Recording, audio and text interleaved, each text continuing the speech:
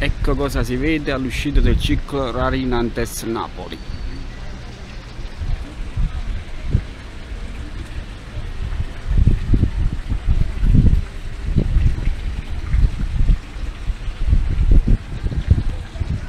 Che schifo.